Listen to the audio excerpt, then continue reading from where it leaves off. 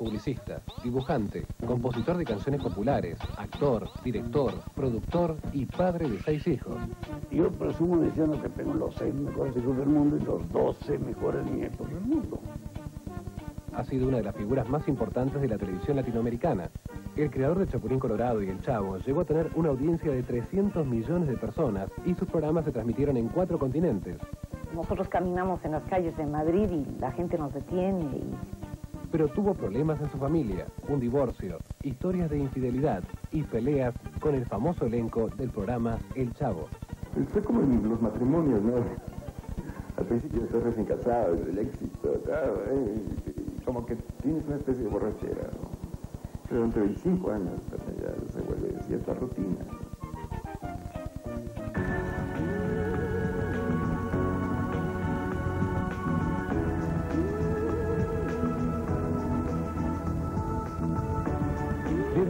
Al último capítulo de Expedientes Teleshow. Hoy vamos a ocupar de un hombre cuya fama logró pasar las fronteras y divertir a varias generaciones de chicos y de grandes. Roberto Gómez Bolaños, más conocido como El Chavo, más conocido como Chespirito. Ustedes saben que tiene una historia muy pero muy particular. Él comenzó ya desde muy pequeño a hacer pequeñas bromas en su casa. Su padre era un retratista muy famoso, un dibujante, que murió cuando él tenía solamente seis años de edad. Pero pese a la falta de su padre, él tuvo una infancia muy pero muy feliz, aunque muy pero muy humilde.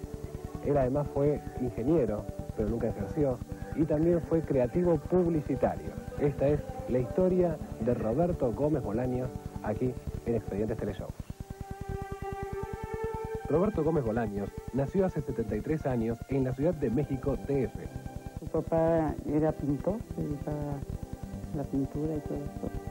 Y eh, su mamá en ese entonces era más dedicada a su familia.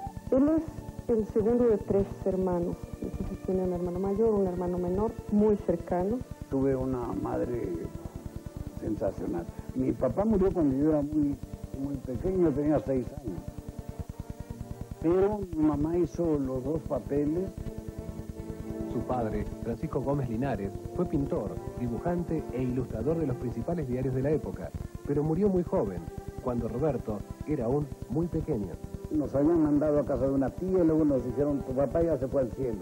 Se sentaba en una ventana por la que él normalmente veía llegar a su padre de trabajar, o sea, entonces me dijeron, papá ya se fue, se fue al cielo, y decían, no, seguramente va a llegar.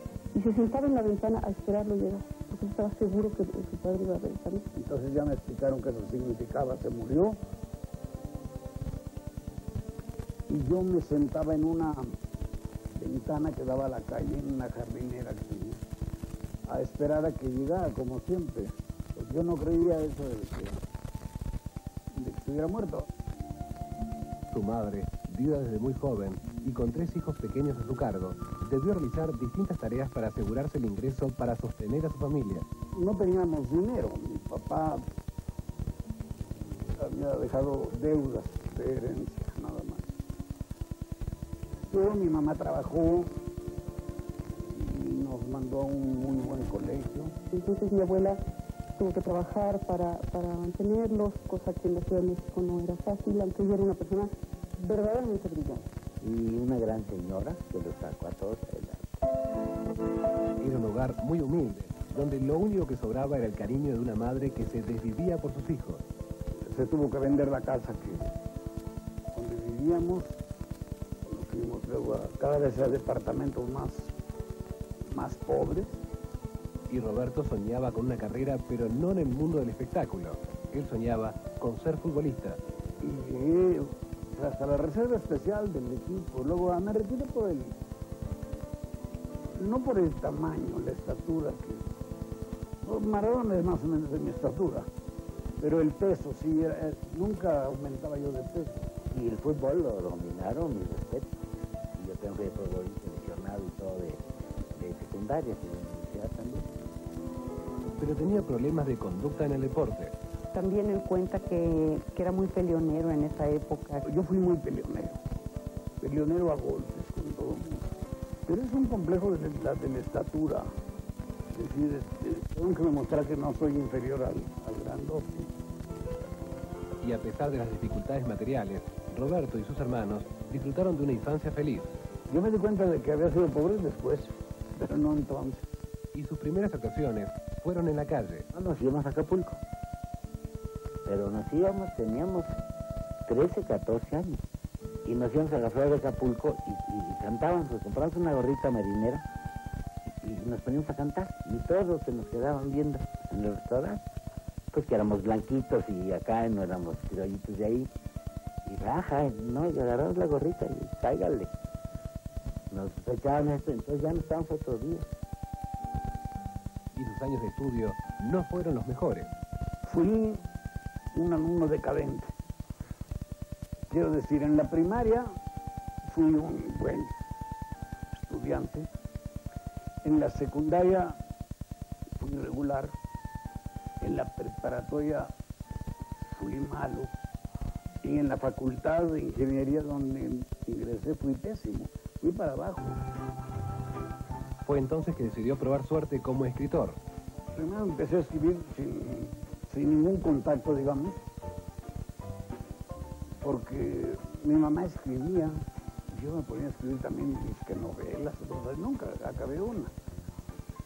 Hice artículos humorísticos en un periodiquito de, este rumbo. La carrera de Roberto Gómez Bolaño no comienza propiamente como escritor, sino en una agencia de publicidad llamada Daptis. Sus primeras incursiones en los medios de comunicación fueron a través de la agencia de publicidad Darcy, donde comenzó a trabajar como creativo a los 22 años. Y escribía este, promocionales y hacía algunas cosas para, para este despacho de publicidad. En la misma época conoce a Graciela Fernández, que varios años después se convertiría en su primera esposa. Eran vecinos.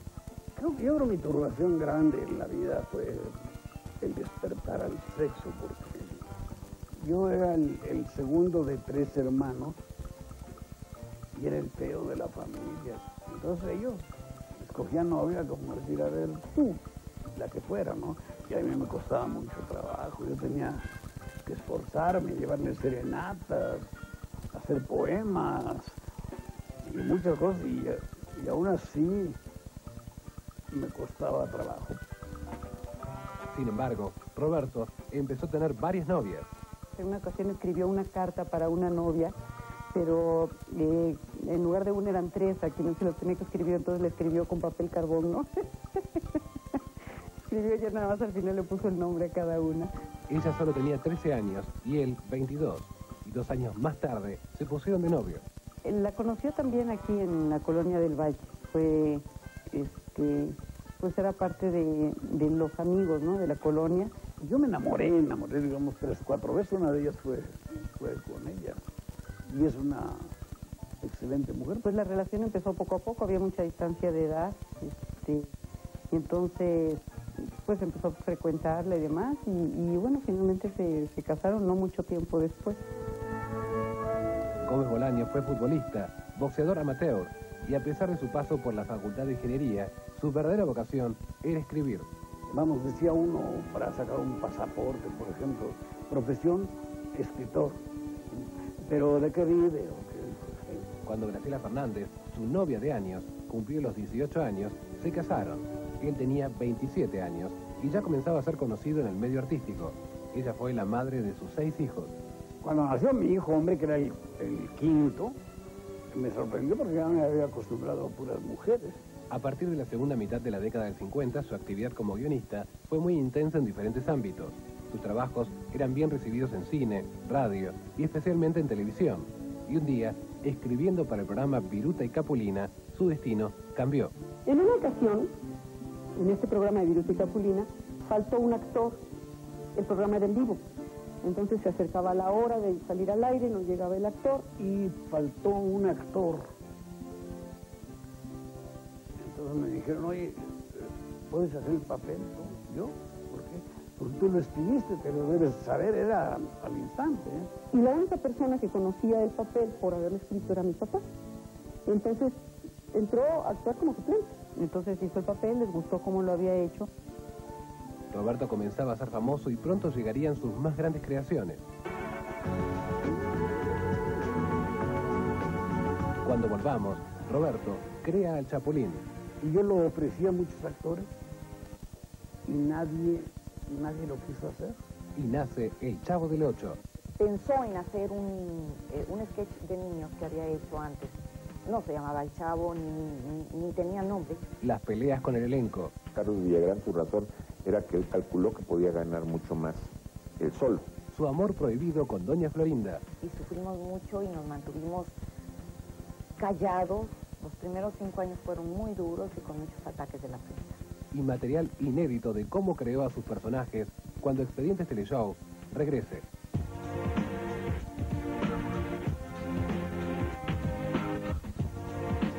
Pero qué bruto eres. Todos los gatos tienen dos ojos.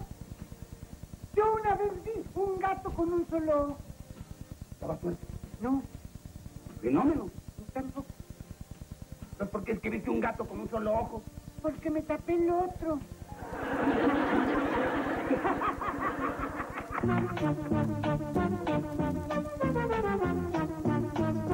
Cuando era muy pequeño y su madre se ocupó de todo. Comenzó como escritor en una agencia de publicidad. Antes de ser Chespirito hizo muchísimas cosas. Él empezó uf, hace 48 años o 50, en el, pero él era solamente un creativo. Pronto llegaba el éxito.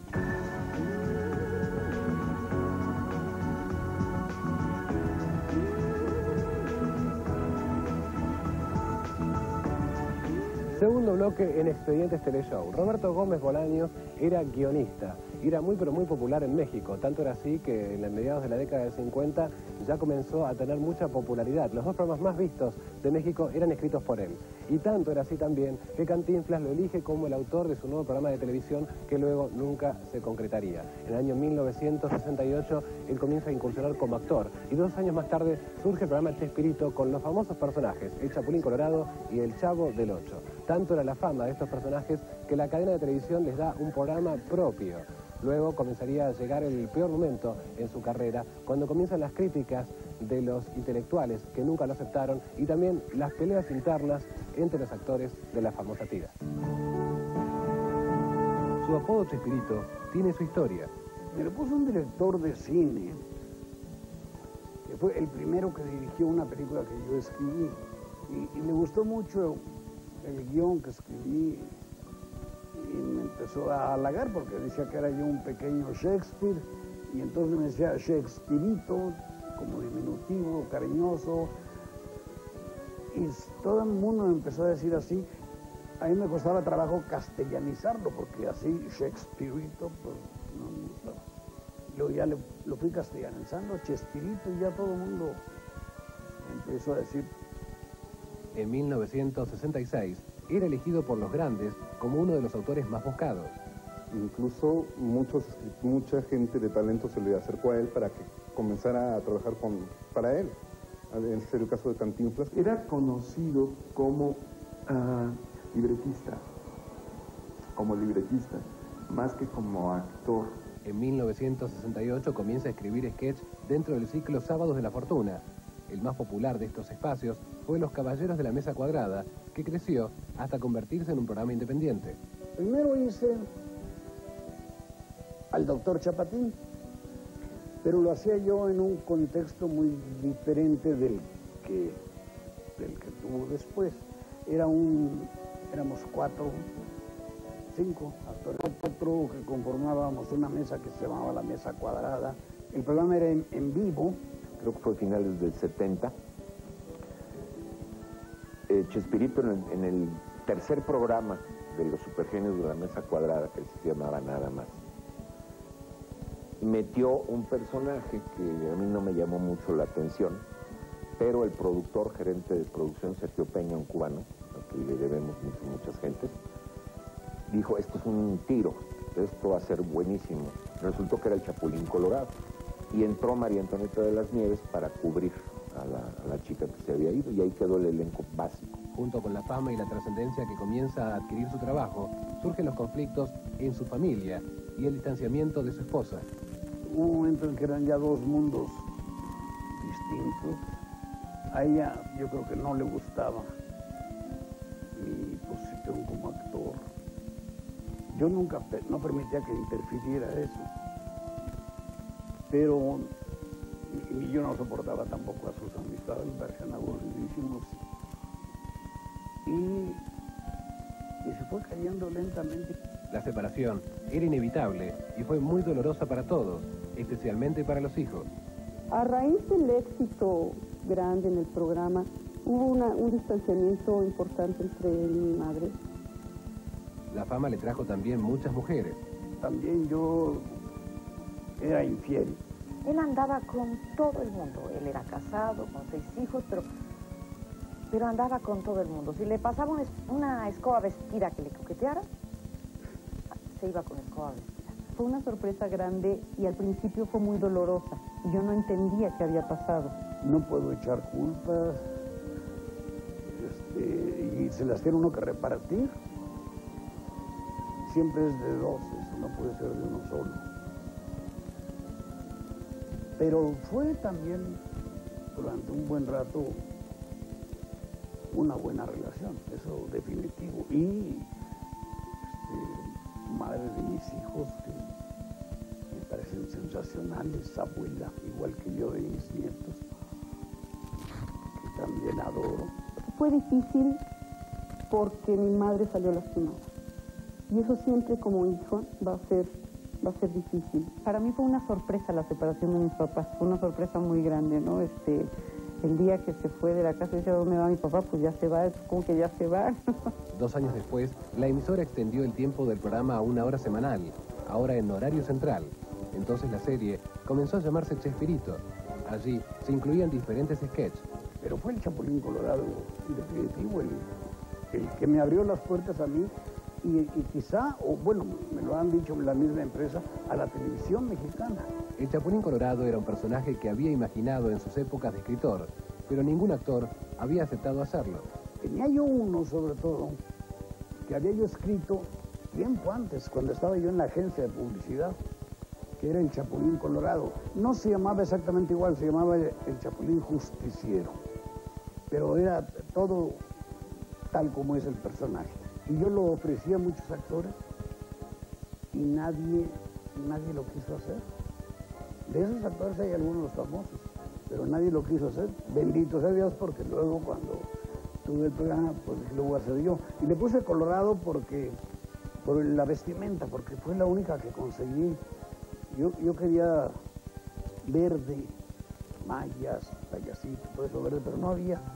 Es por eso que Chespirito se encarga personalmente de darle vida a este personaje que surgió intentando hacer una sátira de los superhéroes de Hollywood, situado en Latinoamérica y con claras muestras de su espíritu subdesarrollado. El personaje era una sátira a Batman, Superman y todos esos disquehéroes. Por ejemplo, se hacía chiquito, lo hacía más débil. Le servía para meterse por donde no lo dejaban, pero lo convertía en más débil frente a cualquier peligro. Este, las antenitas de vigilantes detectaban la presencia del enemigo o algo así, pues se equivocaban muchas veces, no eran nada seguras. El chipote chillón era el, el arma más estúpida del mundo porque no, no hacía el menor daño, como arma no servía de ningún modo. Pero no le quise poner nunca facultades como la fuerza de un Superman o volar.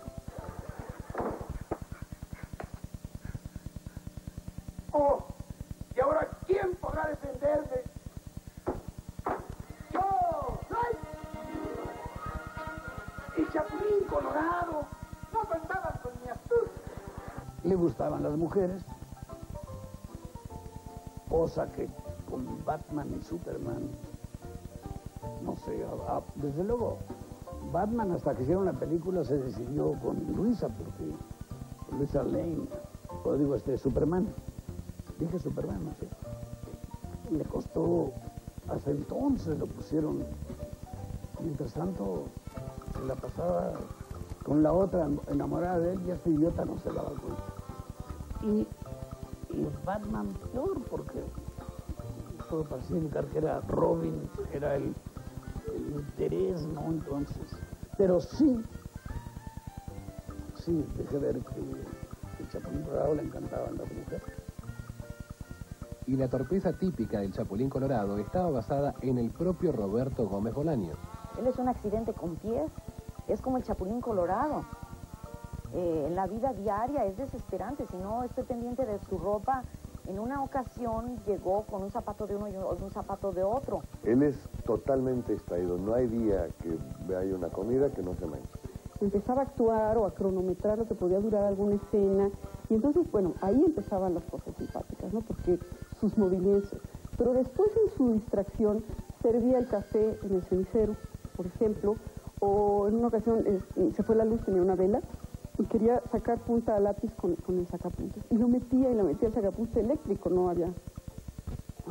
Ah, no, pues es que no hay luz. Entonces, él en su cosa puso el lápiz en la vela. No sé si pensó que eso iba a funcionar, ¿no?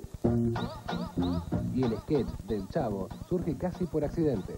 Rubén Aguirre se fue a la competencia a, Telesistema Mexicano. En lugar de sustituir el sketch base que hacía Rubén, que era Lucas y Chaparrón Bonaparte, el de los chifladitos, eh, pensó en hacer un, eh, un, sketch de niños que había hecho antes. No se llamaba El Chavo ni, ni, tenía nombre. Entonces yo tenía que sustituir, no al actor, porque eso no funciona, sino el sketch. ¿Y qué hago? Había yo hecho una cosa, un sketch de lo que yo llamaba sueltos, es decir, sin continuidad, de un niño. El Chavo del 8 se llamó así simplemente porque se transmitía por Canal 8 surgió como un sketch de relleno, pero fue ganando lugar al notar la repercusión de las travesuras de estos niños en el patio de la vecindad. Sin quererlo, el programa se convirtió también en una especie de denuncia contra las desigualdades sociales que sufría el pueblo mexicano, a través de la historia de un niño sin hogar y de algunos personajes adultos que intentaban sobrevivir en ese ámbito. A la gente le gustaba porque la familia se reunía a ver el programa. A pesar de que sus seguidores fueron en su mayor parte niños, el programa había surgido como un espacio humorístico dirigido al público adulto, interpretado por adultos haciendo de niños. El humor de un niño huérfano, del que solo se conoce la abuela, por lo menos se conoció en esa vecindad del chavo, y las bromas típicas quizás a la vecina, molesta al profesor, la mala onda, los amigos, eh, todo resumido en frases que quedaron para la historia de la tele. Fui conformando eso, un un vecindario, una sociedad reducida en pequeño. Fue un gran éxito en todas partes. En México tuvimos tres años consecutivos el primer lugar de rating. Y el grupo de actores convocado por Gómez Bolaños tenía los más diversos orígenes. Rubén Aguirre había trabajado a su lado desde sus épocas de autor. A Ramón Valdés, don Ramón, lo había visto actuar en varias películas. María Antonieta de las Nieves, la chilindrina, hacía voces en off y doblajes para programas infantiles. Y Carlos Villagrán, Kiko, era un periodista y fotógrafo con facilidad para la actuación que conoció en una reunión en una casa de un amigo. Y el señor Barriga también tiene su historia. Chespirito me vio en una serie de comerciales que tuvieron mucho éxito. Comerciales donde aparecía yo con otra persona haciendo eh, un poco parodiando a y Hardy el gordo es flaco.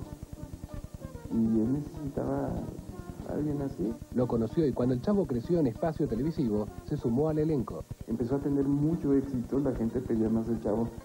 Y lógico, al tener eh, que aumentar eh, la longitud de los de las eh, intervenciones del chavo, tuvieron que meter personajes nuevos. Me propuse desde el principio algo que afortunadamente creo que conseguí yo no quería que la gente creyera que ese personaje era un niño.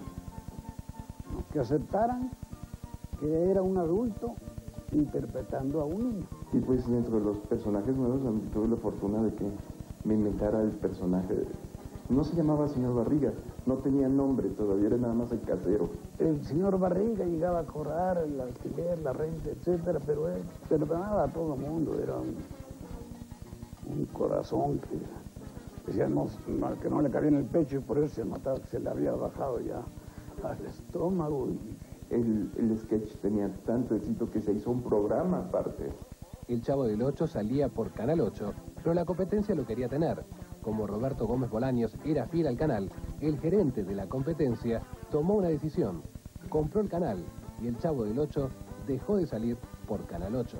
Para tener Roberto compró el canal y ya después este, vaya, la perspectiva del, Chavo del Ocho cambió a que era el chico que vivía en el departamento número 8, ¿no? O que salía a las 8 de la noche.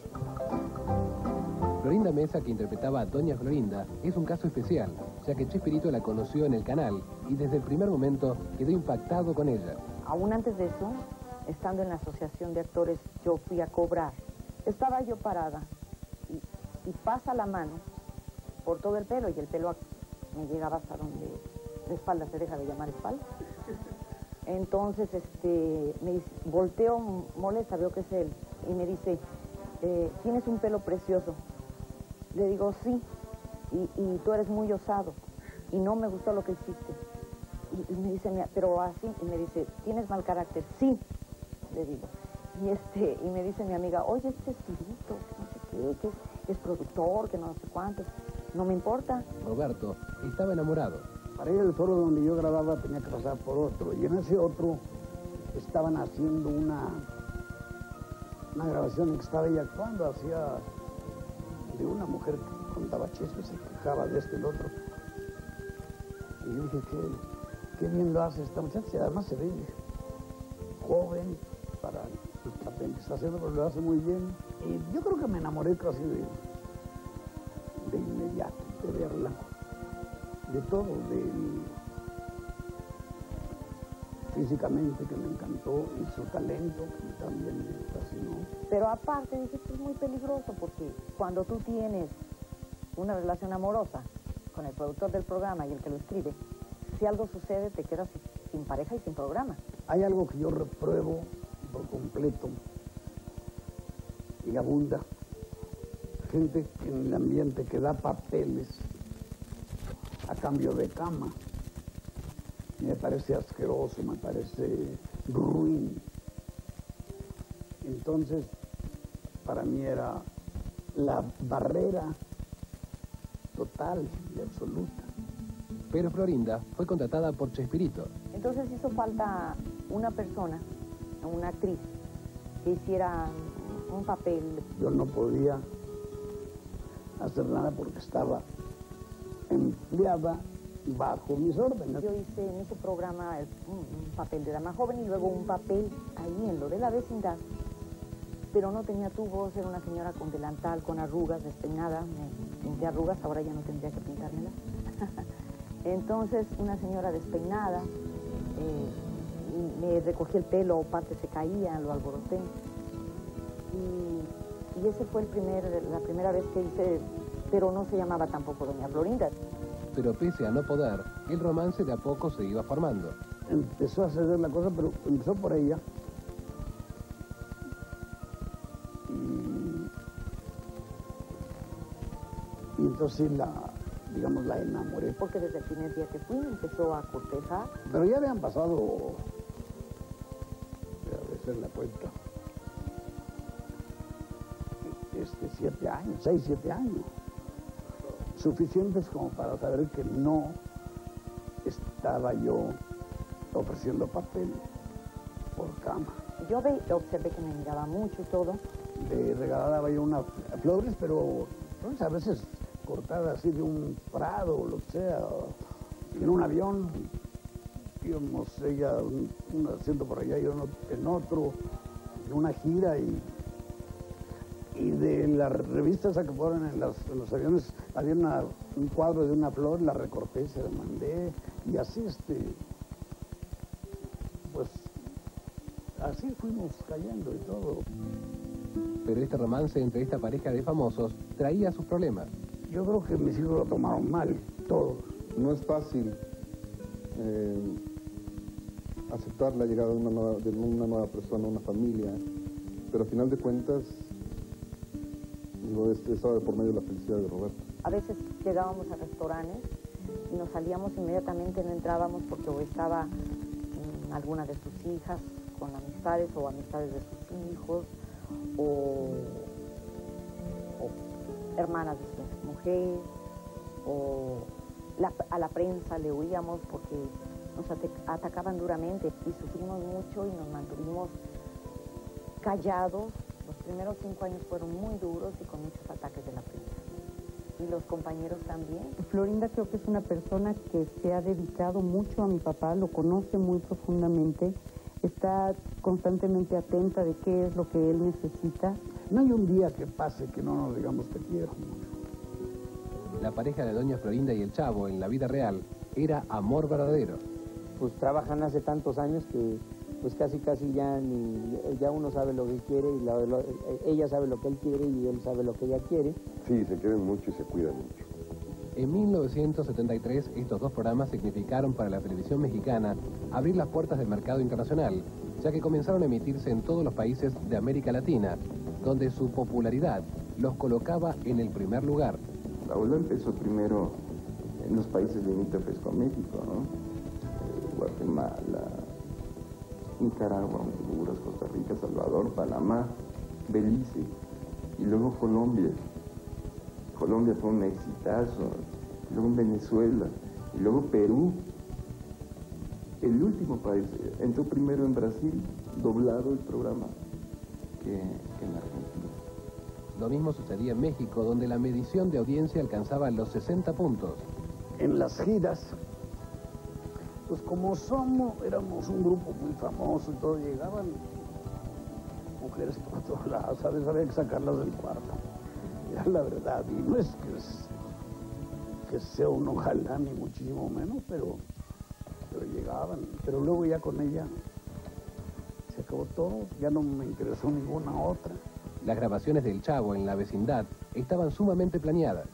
Todo está fríamente calculado, todo está planeado, hay un libreto, este, nada es improvisado, a menos que, que tengas una idea, no quiere decir que se cierre. El programa, digamos que el 80% de todo era Chespirito y el resto del 20% a dividir entre todos los demás. Si alguien quería meter un chiste, y tendría que ser en el ensayo, y si Chespirito lo, lo aceptaba, va. Pero junto con el éxito surgen los celos y los conflictos entre los integrantes del elenco.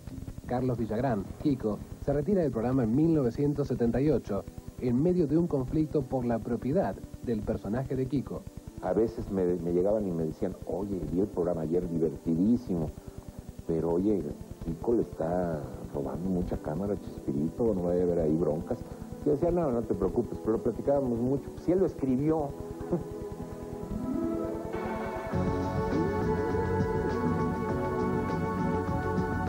Volvamos, las traiciones en el elenco.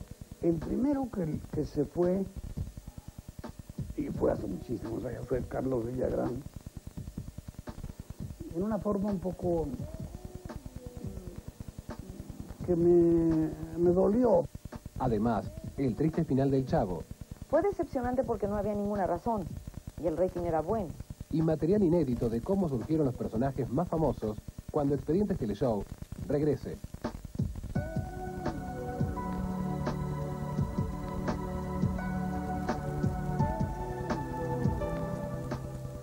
Permiso.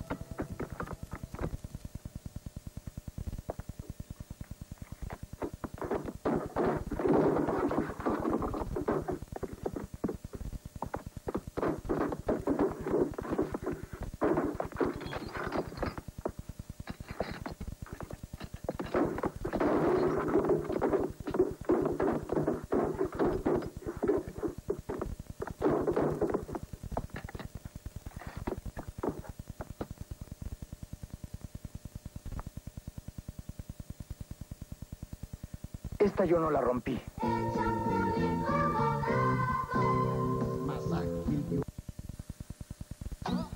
El Chapulín y el Chavo eran dos de los personajes más famosos. Tenía dinero, la mujer que amaba, seis hijos y éxito. Pero los problemas llegaban.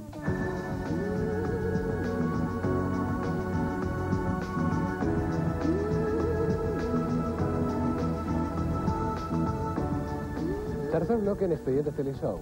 El Chapulín Colorado y el Chavo del Ocho eran muy pero muy famosos, se veía en toda Latinoamérica y en España. Había sido doblado más de 50 idiomas y además hace 30 años que está ininterrumpidamente siendo emitido por todos esos canales de todo el mundo.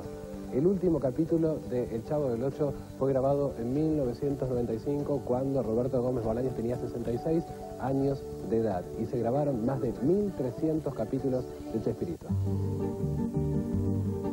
En el programa todos los personajes mantenían un equilibrio de participación y popularidad. Esto agradaba a Chespirito porque consideraba que todos eran merecedores del reconocimiento. Sin embargo, el más famoso era Roberto Gómez Bolaño. Fue extraordinariamente difícil, te digo. Porque de haber tenido un papá que participaba en todas nuestras actividades, que venía con nosotros, que era muy cercano, hubo un momento en que no podía salir a la calle. Su vida con la fama cambió. Para ponerte un ejemplo, mi padre es muy religioso, no faltaba a misa un domingo, y tuvo que dejar de hacerlo, porque no lo dejaban, no, no podía llegar a la iglesia, no podía salir de la iglesia, la gente en misa no ponía atención. Nunca pudimos regresar a un restaurante. Sin embargo, las características particulares de Carlos Villagrán, Kiko, lo hacían destacarse y pronto comenzó a recibir ofrecimientos para trabajar en el exterior, en forma particular, con grandes beneficios económicos. El primero que, que se fue, y fue hace muchísimos años, fue Carlos Villagrán, en una forma un poco que me, me dolió porque él me dijo, quiero salir, quiero intentar ser yo la estrella de un espectáculo. Le dije, tienes todo el derecho, porque todo el mundo tiene, puede tener esa ambición y, quiere hacerla. Y estuve de acuerdo. Ah, me dijo, ¿me puedo hacer el Kiko? Sí, te doy permiso. Este, nada más que como consejo te digo que no vayas a hacer eso únicamente ni todo el tiempo, porque corres el riesgo de, de empalagar. Eh, quizá al final empezó a haber muchos problemas más de tipo económico. Eh, gente que le ofrecía a Kiko el doble o el triple de lo que ganaba con el grupo, porque sabía que podía ahorrar a todo el grupo y que en esos momentos Kiko podía llenar un estadio. Villagrán decidió entonces dejar el grupo, pero debió enfrentar la negativa de Gómez Bolaños, que defendía su autoría sobre el personaje de Kiko, y no estaba de acuerdo en que Villagrán siguiera interpretándolo fuera del programa. Nomás hizo Kiko, le cambiaba de nombres. Este, en México y querían hacer un programa y, y yo nada más, lo único que pedía era el reconocimiento de que soy el autor, porque soy el autor. Y él dijo que no, él, que él era el autor. Carlos Villagrán hacía lo de inflar los cachetes y hablar así, eh, mucho antes de entrar como Kiko, ¿no? Y, a mí me consta porque lo tuve en un programa y no sabíamos qué hacer con él porque lo único que sabía hacer era inflar los cachetes. Él cuando se fue, se fue diciendo que porque tenía mejores oportunidades, no sabíamos qué iba a decir ni hacer todas esas cosas. Y Roberto es muy noble, le dijo, es legítimo, y, que quiera así. Sé que Carlos Villagrán, su razón era que él calculó que podía ganar mucho más él solo. Pero la pelea fue definitiva. Kiko nunca quiso regresar. Kiko utilizó el nombre de, de, Kiko. Y, fue el primero que se salió y, y de mala manera porque nos dejó colgados con una gira a Perú precisamente. En el aeropuerto lo estuvimos esperando en Monterrey. Y el tema terminó en juicio. Y luego, uh, se armó. Me puso una, una demanda, la gané sobradamente. Al poco tiempo, Kiko se lleva al popular Don Ramón. Luego se fue Ramón Valdés porque lo sacó Carlos. Ramón tuvo muchos problemas con Carlos Villagrán y regresó Ramón. Estuvo dos años y se volvió a ir nuevamente, ya nunca lo volvimos a ver, pero el programa siguió. De hecho, pues, siguió con todos los demás. Siempre, siempre les di permiso, lo que siempre exigí, eso sí, el reconocimiento a, a, a la paternidad de los personajes. Poco después de que Ramón Valdés se retirara del elenco, se suma un conflicto con María Antonieta de las Nieves, la chilindrina, que también abandonó para hacer su propio programa, el show de la chilindrina los programas han ofrecido dinero por la autorización y yo no he pedido más que el crédito. Y de hecho, María Antonieta al año y medio regresó porque el programa no funcionó muy bien. Y regresó y siguió el programa con ella hasta el final. En los últimos años el problema con la chilindrina regresó. Ella sigue luchando por los derechos de su personaje. Dice que el personaje es de ella y pues eso me da risa, ¿no? y le pelea el personaje de la chilindrina tontamente porque ella es una gran actriz. Ella podría hacer lo que quisiera. A pesar del éxito ininterrumpido de Chespirito, que seguía manteniéndose en los primeros puestos de audiencia a través de los años, surgían las críticas y los conflictos. Ese lenguaje, por ejemplo, al principio no le gustaba nada. Acá también se discutió mucho el chavo, porque los chicos repetían ese lenguaje exagerizante que no tenía que ver. Hoy se sabe que todo suma en la educación de un chico, hay otra mirada. Pero en su momento fue muy discutido, tanto políticamente por un lado como conceptualmente. Sí puede ser que, que se deformara el lenguaje, pero siempre se corregía. ¡Un gato! No, no es gato, es masacota. Mascota. ¿Y yo qué dije? Masacota. ¿Cómo es? Mascota. ¿Yo qué dije? Masacota. Lo criticaron mucho. Yo recuerdo siendo muy niño, cuando empezó el programa, que yo oía de alguna manera de amistades de mis papás y todo eso, críticas de decir, está deformando el idioma. Yo me ponía a buscar las palabras que él decía, la palabra chanfle. Existe en el diccionario de la Real Academia. Varios de los actores ya habían tenido diferencias de intereses con Chespirito, y a esto se sumaba la crítica de ciertos sectores intelectuales que nunca lo habían aceptado. Otra de las características de los personajes creados por Chespirito fue que todos sus nombres comenzaban con la CH. Esto, que en principio fue una casualidad, después se transformó en una cábala. Yo empecé a poner chavo y luego me copiaron y ahora todo el mundo dice chavos a los jóvenes. Chava, yo lo puse. Pero cuando me di cuenta de la coincidencia, entonces ya seguí intencionalmente. Desde luego, ya este, las pastillas de chiquitolina, el chipote chillón, eh, la chilindrina, el chompiras, la chimoltrufia, chaparrón bonaparte, todo fui poniéndole. Che por, por, después de la coincidencia, pensé que daría una cierta personalidad. La serie llegaría a límites insospechados viéndose en todos los países de Latinoamérica, además de Italia, España, Angola, Rusia o la India. Ha acompañado la infancia de cuatro generaciones de chicos, se ha transformado en un clásico de la televisión y es un fenómeno que sigue vigente. Que recordar que El Chavo del Ocho fue éxito en Argentina, en América Latina, en Rusia, en Corea, en todo el mundo. O sea que los conflictos y ese personaje tan creíble era reconocible en todos lados. En el año 78, todo el elenco se presenta frente al público argentino en el estadio Luna Park, donde realizan siete funciones a lleno total, lo que se repite en el año 86. Una rubia preciosa, acabando la función en el en Luna Park, me dijo, fíjate que tú a mí no me haces reír. Y bueno, pero te adoro. Y me agarró y me dio un beso. Y Florinda furiosa. Con casi 70 años de edad, ya le resultaba problemático actuar en esos roles. Aunque siempre conservó una imagen jovial, las arrugas comenzaban a delatar su edad e iba perdiendo movilidad. A últimas fechas ya se hacía poco el Chavo del Ocho porque mi papá ya no tenía edad. Él había dicho que cuando fuera abuelo iba a dejar el Chavo del Ocho. Pasaron muchos años y tenía muchos años de ser abuelo y todavía seguía haciendo. Pero ya había, había dejado un poquito eso. En 1995, cuando faltaban pocas semanas para cumplir 25 años ininterrumpidos al aire, la dirección de Televisa decide implementar cambios en los programas humorísticos de la emisora y en forma repentina deciden el levantamiento del programa sin previo aviso. Fue decepcionante porque no había ninguna razón y el rating era bueno. Esto fue de una manera muy abrupta. Un día recibió una llamada y le dijeron la grabación de mañana se cancela. Había un, todo un libreto, estaba para el día siguiente una grabación. Se cancela y se cancela el programa. No vamos.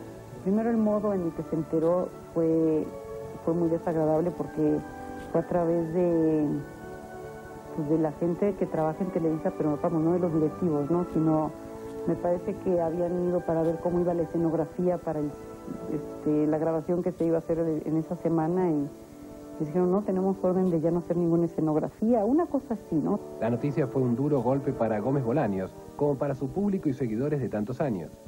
De pronto decidió la empresa suprimir toda la barra humorística, sustituirla por telenovelas que estaban teniendo un auge muy grande. Estaba a pocos días de cumplir los 25 años al aire. Pero que de pronto, después de tantos años, te digan, no mamá, yo creo que tienes que decir. Pasó un rato muy triste, muy triste. Me enteré por el periódico, sale Chapulín Colorado. Habló a Roberto, ya era muy temprano. Oye, ¿por qué salió esta noticia en el diario? Ah, sí, sí, no, pues ya no va a haber. Ah, bueno, ok, gracias. Quedé por sorpresa. La gente de México nos quiere mucho, el público es fenomenal. Pero los medios y la empresa no han acabado de caer bien bien en cuenta de lo que tienen. Después se dieron cuenta, a tiempo después, de que era un, un error, pero mientras tanto había salido mi programa. A este golpe profesional se sumaba una difícil situación en lo personal, ya que la menor de sus hijas sufre un grave accidente. Esta época en la que le dijeron que, que se cancelaba su programa coincidió con un accidente muy grave de la menor de mis, de mis hermanas, un accidente muy, muy serio. Se rompió todos los huesos del cuerpo, estuvo rehabilitación mucho tiempo. Entonces, este, bueno, creo que se le juntó todo.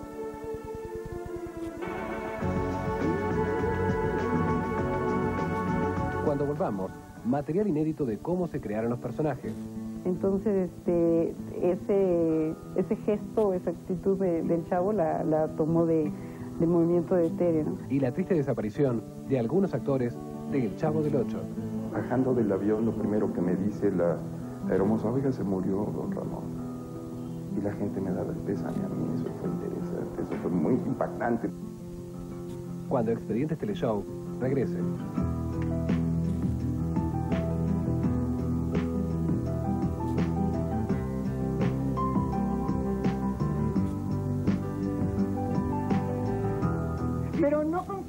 Trabajo porque llegó demasiado tarde. Llegué a las 7 de la mañana, chef. Pero llegó demasiado tarde. Fui el primero en llegar. Pero llegó demasiado tarde. Y dale con que llegué demasiado tarde. ¿Por qué dices que llegué demasiado tarde? Porque solicitaban un hombre joven. O sea que llegó como con 40 años de tarde.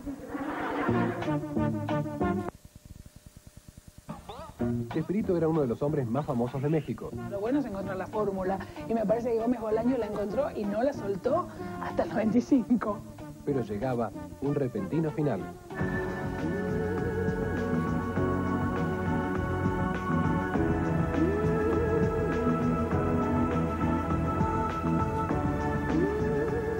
Bloque en Expedientes Teleshow.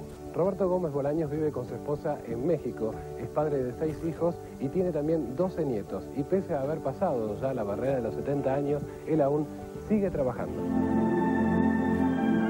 En la actualidad, los programas de Chespirito se mantienen tan vigentes como hace 20 años. En México mantiene 16 repeticiones semanales y en otros tantos países de Latinoamérica continúa siendo líder entre los programas infantiles. En México no, no tuvo tantos otros programas que dieron la vuelta al mundo como pasó con el Chavo. Pero las características famosas de estos personajes tenían sus historias. En los brinquitos, por cierto, se los copié a una de mis hijas, a la tercera, Tere, que así me hablaba, oye, papá, y luego, y, y, y, y- y- y- sí, se los copié a ella. Tere siempre fue muy activa. Entonces, este, ese, ese gesto, esa actitud de- del chavo la, la tomó de, del movimiento de Tere. Estos saltos que vemos de su hija son las que Roberto tomó y después copió en su personaje de El Chavo. Muchos de estos eran parte del lenguaje de la familia. Algunos los tomamos nosotros de él, ¿no? No contabas con mi astucia o cosas de ese tipo. Pero hubo otros que al revés surgieron de la familia. Él observaba mucho eh, la, la actuación de mis hermanos, sobre todo cuando jugaban esto, y lo tomaba para sus programas. Les decía a alguien y, y mi mérito era quizás darme cuenta y, y repetirla, hacerla reiterativa simplemente. Además incorporaba a su familia en los libros. hacía una cosa frecuentemente que era mencionarnos en el programa. Por ejemplo, decía, tomaba su, agenda y decía, bueno, es que el lunes tengo cita con Graciela, el martes con Cecilia, el miércoles con Tere, y entonces decía nuestros nombres, ¿no? Bueno, nos sentíamos felices de haber escuchado nuestros nombres. cuando la gente en la calle le, reconoce, le, le, agradece alguna cosa que haya él hecho, este, generalmente se, enroje- se enrojece, ¿no? Le da pena. Los personajes simples, el humor sano y la efectividad de los guiones escritos por un hombre talentoso han hecho posible que el Chavo y el Chapulín Colorado sigan acompañando la infancia de nuevas generaciones que han nacido muchos años después que los inolvidables personajes. Sin embargo, también algunos de los actores que formaron parte de este éxito han desaparecido. Ramón Valdés, digo, de por sí en, en los programas estaba enfermo, tenía una enfermedad, no sé de momento cuál era, pero incluso su aspecto físico, con el tiempo de, la transmisión del Chavo del Ocho, se veía mucho, muy deteriorado. Ya en los últimos programas, eh, Ramón Valdés era una persona que era la sombra de lo que fue eh, don Ramón del principio. El primero que se fue fue Ramón Valdés. Él ya no estaba en el programa. Yo venía de una gira de Guatemala. Bajando del avión, lo primero que me dice la hermosa, oiga, se murió don Ramón. Y la gente me daba el pésame a mí, eso fue interesante, eso fue muy impactante, pues. Y la popular bruja del 71 también falleció. Luego murió Angelines Fernández. Ella había estado ya muy malita. Ella sí seguía con nosotros. Ya tenía mucho tiempo de estar eh, grabando. Y pues sí, fue un, fue un golpe. Nos dolió muchísimo la de Angelines, pero estábamos un poco hechos a la idea también porque ella llevaba dos años muy enferma y sufriendo mucho. En los últimos años, Roberto hizo teatro en México, una obra adulta y muy distinta a sus famosos personajes. Entonces empezamos la obra de, de 11 y 12, que al principio nos fue malísimo. Y, este, y después pues, llegamos a, pues, a hacer una obra de 10 años ininterrumpidos, lo cual aquí en México no es nada común. Hizo más de 3.200 representaciones. También participó en la última campaña política de Vicente Fox, quien ganara la elección para la presidencia de México.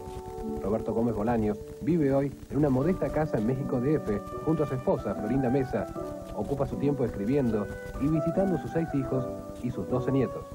Él pinta al óleo, eh, se va a editar un libro de poemas, eh, está haciendo su autobiografía a punto de terminar. Eh, un poco por, por insistencia nuestra, está escribiendo sus memorias. Él se resistía a escribir sus memorias porque le parece así como un ego demasiado grande. No tengo nada que contar, bueno, si no tendrá, ¿no?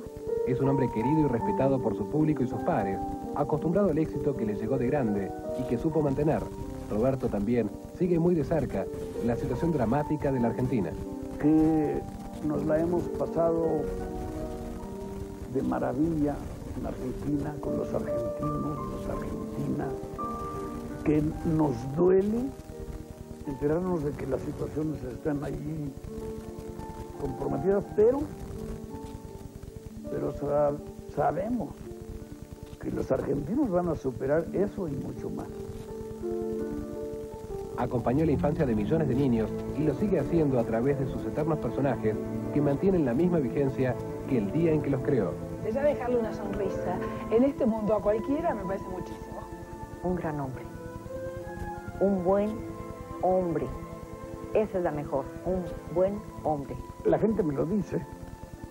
Este, crecimos contigo, gracias por los momentos que nos hiciste pasar. Yo creo que a to- todos los mexicanos, o por todos los compañeros, o la gente del medio sobre todo, pues lo, con- lo reconocemos a él como un genio. Chespirito Roberto Gómez Bolaños es el escritor de televisión más sensacional que yo he conocido. Y hoy lo que siento es un orgullo inmenso, ¿no? Este, una admiración enorme y, y, y- un privilegio de, que mi papá sea Chespirito. Tendría muchísimo que agradecerle, muchísimo que agradecerle, no por lo que el público conoce de él, que eso lo sabe todo el mundo, sino por lo que nos dio en lo personal, por, por este cariño tan grande, por este reconocimiento que él hace, por su ejemplo de rectitud, de bondad, de generosidad, es enormemente generoso. creo que no acabaría nunca de agradecerle todo lo que, lo que ha sido y lo que nos ha dado. Pues mira, yo lo podría resumir en una sola palabra. Aquel es un genio. Todavía en la actualidad, gente que veo y me saluda y, y le hago así, o ellos me hacen así también. Roberto Gómez Bolaños logró traspasar todas las fronteras y su fama ya es internacional. Sus personajes todos comienzan con CH, Chapulín, Chavo, Chapatín, Chespirito, y es una cabla que él tenía, una cabla que funcionó muy pero muy bien, ya que su fama realmente pasó a ser increíble, tanto en Latinoamérica como en España, como en varios países de Europa y del mundo. Y es además uno de los personajes más recordados de la historia del humor internacional. Muchísimas gracias por habernos acompañado. Hemos llegado al último capítulo de Expedientes Teleshow. Muchas gracias a todos los que nos acompañaron durante toda esta temporada y nos volveremos a ver en otro momento. Hasta entonces.